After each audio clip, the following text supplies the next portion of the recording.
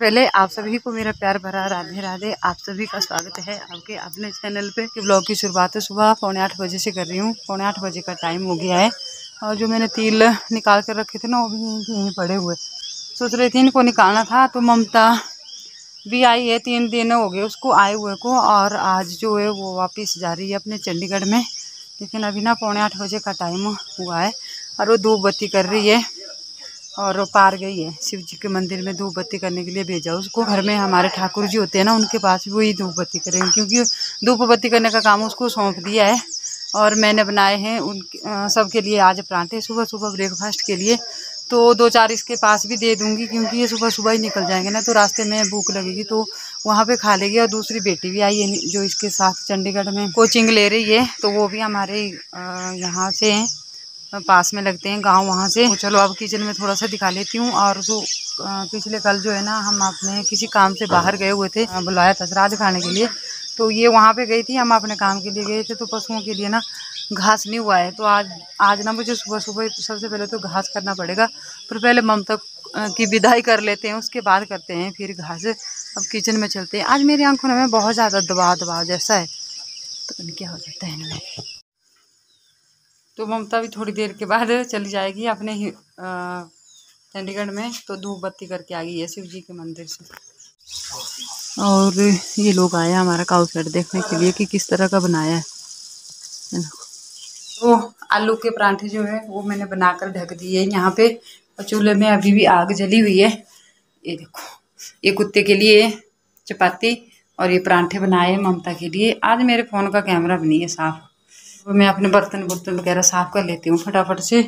और फिर उस इसको भेजने के बाद ना फिर मैं घास के लिए निकल जाऊँगी अपने।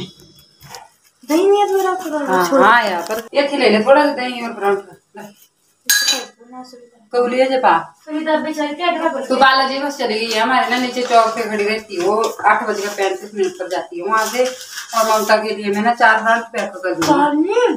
दो तीन तीन नहीं दो तू खाए दो सुनीता दे दे एक ना ग्रोन देनी डेढ़ डेढ़ पाऊँगा तीन ही पाओ तीन खाई दो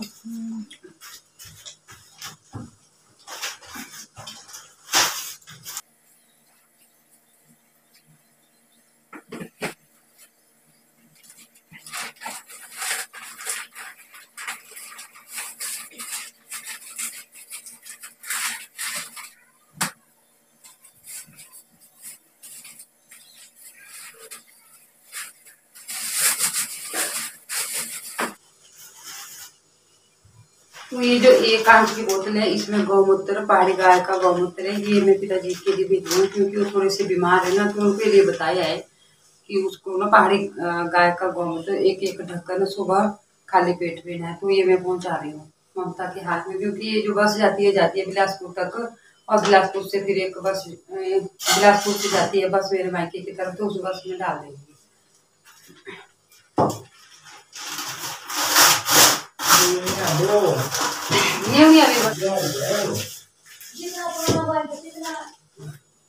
एक ही दो दो ले जाओ क्यों क्या हुआ और क्यों उतरना अभी ऐसे अलबात फैल रही है। आप नहीं जी अभी तो पूरा पूरा पटाखा ही वो सारा सब कुछ अगर वाला रे बैठिए ना दोनों भाई क्या कर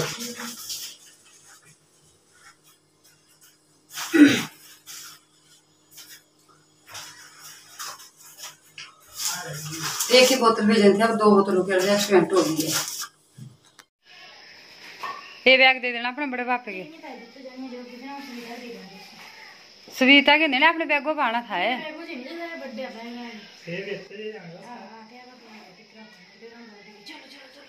तिरसेन जाऊ बिलासपुर? देख देख देख।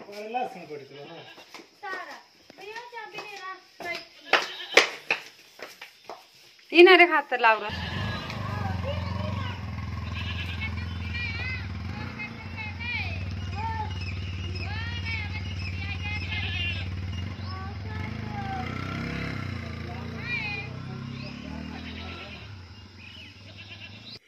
बस तक छोड़ने के लिए ममता के पापा जी गए हैं और उतने को मैं अपने किचन समेट लेती हूँ और इसके बाद मुझे घास काटना है, फिर आपको काउ साइड का काम भी दिखाना है तो पहले मैं अपना किचन का निपटा लेती हूँ।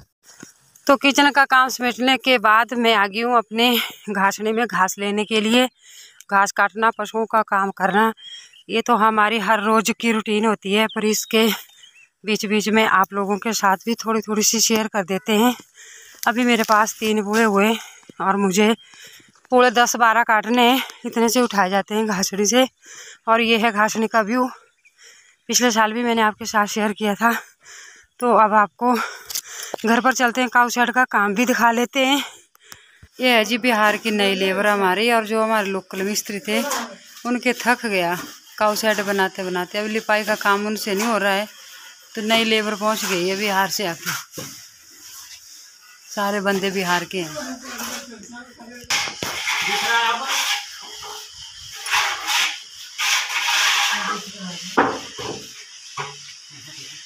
वाह जी वाह।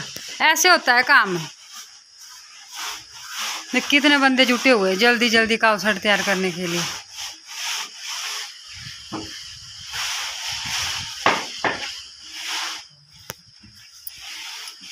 अब एक बंदे के लिए काफ़ी कमेंट आएँगे मेरे पास, जो खाली खड़ा है। अच्छा। कोशिश करने वाले की कभी हार नहीं होती।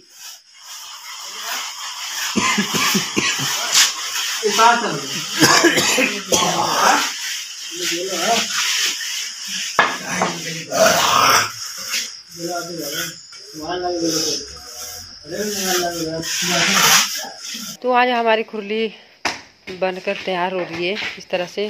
साइड के लिए पत्थर लगाए और बीच में जो है, इसमें मिट्टी और पत्थर भर दिए हैं और लंबाई कुछ इस तरह की ली है खुरली की और इस तरफ़ जो है, छोटे बच्चे के लिए बनेगी।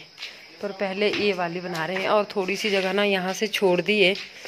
शायद यहाँ पे कुछ घास का टोका एडजस्ट करेंगे या कुछ जो भी रहेगा, पर इतनी सी ली है। थोड़ी सी जगह छोड़ दी है इस साइड को। और इस तरह से ये हमारे मिस्त्री है, ये बिहार से है। राजू, बिहार कौन सी जगह से आप? सीतामढ़ी जिला से हैं ये लोग। और ये लोग जो है, इनके साथ लेबर वाले हैं, काम पे लगे हुए और इन्होंने ना ये काम जो है कुछ तीन चार दिनों में निपटा दिया है। पूरा काउ साइड जो है इसकी लिपाई कर दी है, पूरा फिनिश कर दिया है। छोटा मोटा सा काम बचा है। अब ये यहाँ से हटाएँगे और यहाँ पे भी खुरली बनेगी और चारों तरफ़ से दीवार लगेगी। इस तरफ़ से भी दीवार लगेगी और इस तरफ़ से भी दीवार लगेगी। बाकी जो दरवाजे, खिड़कियाँ हैं, वो खुद लगाएँगे। इनका सिर्फ़ लिपाई का काम था। थोड़ा सा मैं परे जाकर बताती हूँ। वहाँ पे करते हैं दिन रात करके। ये काउ साइड का जो है लिपाई करके पूरा कंप्लीट हो चुका है। पूरा पिछली साइड छाप थी, वो भी दे दी है, ऊपर से थोड़ी सी लिपाई कर दी है। और जो काउ सेड के ऊपर से बिजली की तार थी, उसको हटा दिया है, उसको परली साइड से एडजस्ट कर रहे हैं, परली परली साइड, जो खाली जगह है ना, वहाँ से एडजस्ट कर रहे हैं। स्पोर्टों स्पोर्ट जो है, यहाँ से हटाई जा रही है अब, क्योंकि लिपाई पुताई का काम जो है ना, वो फिनिश हो गया है। और ये है हमारा बिजली का खंबा, और यहाँ से जो है ना, तार इस साइड से होते हुए ऊपर को करेंगे, और ये आए हैं नीचे बिजली वाले। ये देखो ये तार को जो है ना परली साइड से एडजस्ट करेंगे।